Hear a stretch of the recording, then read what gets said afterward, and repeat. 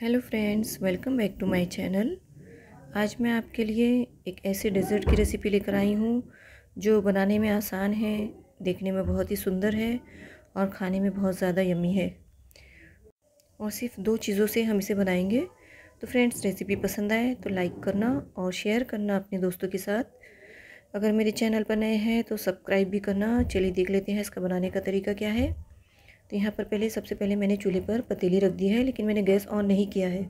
और मैंने इसमें एक कप दूध डाल दिया है और एक चम्मच ही हम इसमें डालेंगे अगर अगर पाउडर। और इसमें डालेंगे दो चम्मच शक्कर। शक्कर आप अपने टेस्ट के अकॉर्डिंग कम या ज़्यादा कर सकते हैं। अब इसमें हमें इसे अच्छे से मिक्स कर लेना है और अब मैंने यहाँ पर गैस का फ्लेम ऑन किया है और इसमें अच्छा सा उबाल आने देंगे। मैं इसमें दो से तीन ड्रॉप रेड फ़ूड कलर डाल रही हूँ। जेल कलर है तो इसे अच्छे से मिक्स कर लेंगे और इसमें बॉईल आने देंगे। जब इसमें बॉईल आ जाए तो हम इसे बंद कर देंगे गैस का फ्लेम। और यहाँ पर मैंने इसे जमाने के लिए हार्ड शेप का ये शीट ले लिया है, प्लास्टिक वाला जो होता है तो इसे मैंने थोड़ा सा गीला कर लिया है। तो इस तरह से आप गीला करेंगे ना तो ये हार्ड जो हम निकालेंगे ना तो बहुत ही आसानी से निकल जाएँगे। तो इसे हल्का सा गीला कर लेना है। अब इसमें हमें हार्ट में पोर कर लेना है इस मिक्सचर को। और इसे ठंडा होने देंगे। जब ये ठंडा हो जाएगा तो हमने इसे 10 मिनट के लिए फ्रिज में रख देना है। तो अच्छे से सेट हो जाएगा ये। और 10 मिनट के बाद मैंने इसे निकाल लिया है और अब इसे हम इस तरह से छुरी से हल्का सा टच करेंगे ना तो बस ये बाहर आ जाएगा। इस तरीके से सारे हार्ट को हमने निकाल लेना है। इस डेज़र्ट को बनाने के लिए मैंने इस तरह का राउंड शेप वाला कांच का ट्रेस ले लिया है। तो आप इसे चौकोन ट्रे में भी बना सकते हैं और इसमें मैंने इस तरह से अरेंज कर दिया है हार्ट को और इसे रख देंगे दस मिनट के लिए फ्रिज में।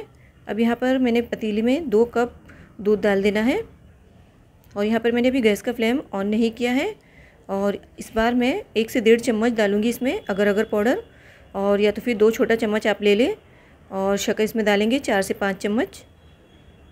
मैंने चार चम्मच यहाँ पर शक्कर डाली है तो आप अपने टेस्ट के अकॉर्डिंग शक्कर कम या ज़्यादा कर सकते हैं और इसे अच्छे से घोल लेंगे और यहाँ पर अब मैंने गैस का फ्लेम ऑन कर लिया है और इसमें उबाल आने देंगे, अच्छे से चलाते रहेंगे। इसे चलाते रहना है, वरना इसमें लम्स पड़ जाएँगे। और ये जब इसमें उबाल आ जाए तो इसे का गैस का फ्लेम ऑफ़ कर देंगे और इसमें मैंने टेस्ट को इन्हेंस करने के लिए मैंने यहाँ पर इसमें फ्रेश क्रीम डाल दी है। फ्रेश क्रीम ऑप्शनल है। मगर इससे बहुत ही अच्छा टेस्ट आएगा। तो इसे आप बिना फ्रेश क्रीम के भी बना सकते हैं और अब इसे अच्छे से मिक्स कर लेंगे। गैस का फ्लेम मैंने ऑफ़ कर दिया है। और यहाँ पर हमने फ्रिज में जो रखा था तो उसे निकाल लेना है। अच्छे से ठंडा हो गया है। दस मिनट के लिए हमें ज़रूर रखना है इसे। और अभी जो हमने मिक्सचर बनाया है दूध का तो इसे हमने इस तरह से पोर करना है। एक स्पून रखेंगे तो इससे हल्के हल्के से हमने थोड़ा थोड़ा सा पोर करना है। एक साथ नहीं डालेंगे, वरना हार्ड जो है अपनी जगह से हट जाएँगे। और सारा दूध हमने इसमें डाल देना है। दूध को थोड़ा सा हमने गर्म ही डालना है और इसे हमने 10 मिनट के लिए फ्रिज में रख देना है। फ्रिज में से मैंने निकाल लिया इसे, अच्छे से सेट हो गया है और मैंने इसे एक प्लेट में पलट लिया है।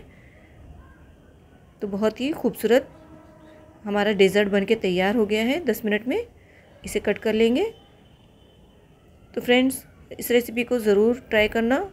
इस रेसिपी को आप रमज़ान के महीने में भी ट्राई कर सकते हैं इफ़ार में। और अगर रेसिपी पसंद आए तो लाइक करना और शेयर करना। मेरे चैनल पर नए हैं तो सब्सक्राइब भी करना, साथ ही बेल आइकन को भी ज़रूर प्रेस करना न्यू अपडेट्स के लिए।